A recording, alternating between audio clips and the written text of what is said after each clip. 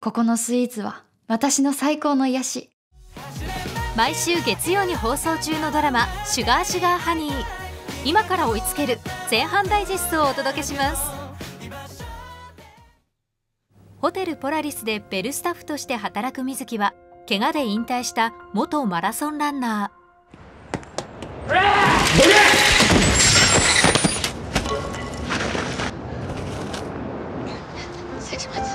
待ちなよ。居場所が欲しいなら俺が作ってやるよ。俺があんたのこと最高に幸せにしてやるバレンタイン用のカシスショコラあんたに試食係をしてほしいんだ。よろしくな。佐原瑞希さん。ー同じホテルで働くパティシエの家事から試食係を任されることに。どうぞ。召し上がれ一方。すみませんでした。大変申し訳ございませんでした。初心様。ベルスタッフの仕事になかなか馴染めない水木。陸上の世界に戻ってきたらどうですか？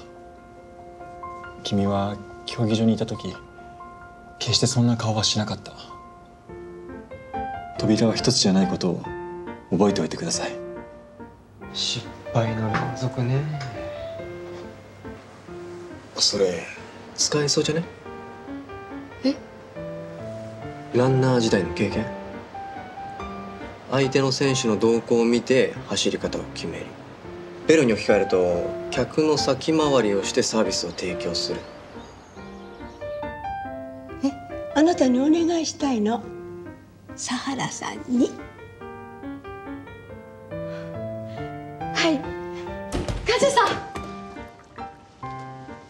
とうございました。おかげでうまくいきました。人に喜んでもらえてすごく嬉しいです。私この仕事が好きです。家事のアドバイスのおかげでホテルの仕事も軌道に乗り出した水木だったが。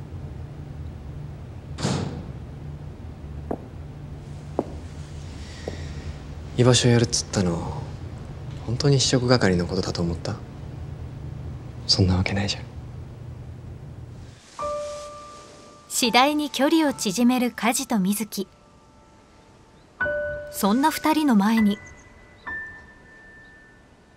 今日からしばらくの間パティスリーにテレビ局の取材が入るってお話。取材？はい。あもしかしてバレンタインスイーツコンペですか？そんな中で優勝候補と言われているのはこのお二人です。シェフの大田垣さんとスーシェフの市丸かなみえ元マラソン選手だっけ？そう。佐原さんじゃないですか。なんと佐原さんと私は現役時代たくさんの大会で競い合ってた仲なんです。近いです。水木の現役時代のライバル一丸かなみが現れて。そんなことないですよ。うちの従業員もみんな言ってました。やだもう梶さんってば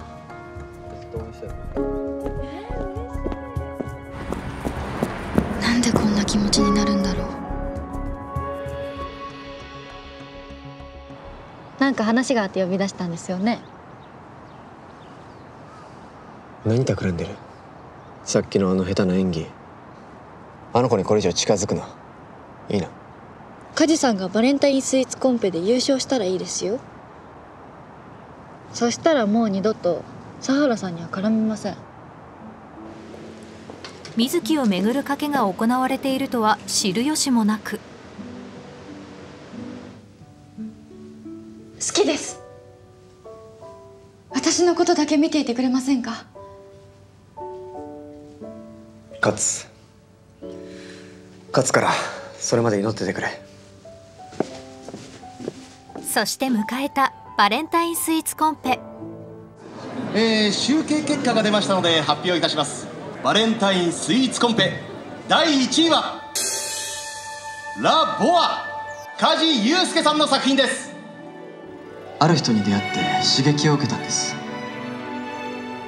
皆様にも私のような素敵な出会いが訪れますようにそんな思いを込めて作りました。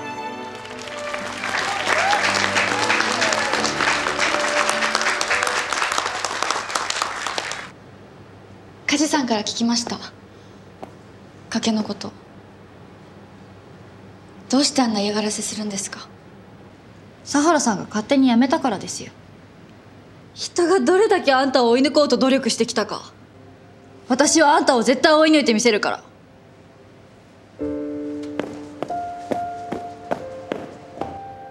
ったら戻ってほしいです。彼女の実力はあんなもんじゃないから。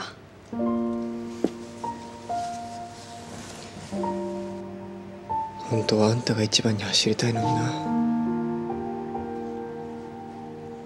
気になる第5話は。返事聞きたいです。告白の。これってもしかして初デート？